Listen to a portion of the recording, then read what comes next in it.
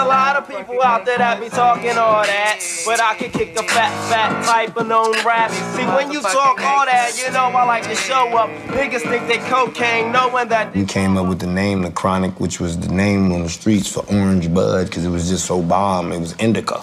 See, and it was something that nobody else had but California. So uh, Snoop said, You need to name your album The Chronic because it's the bomb.